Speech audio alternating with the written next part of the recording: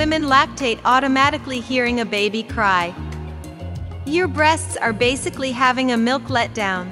The sound of a baby crying, any baby, not just your own, can trigger what's known as MER, or milk ejection reflex. The actual science part of it occurs when the auditory stimulus of crying causes the lactating person's body to send a signal to the brain that it's milk-making time.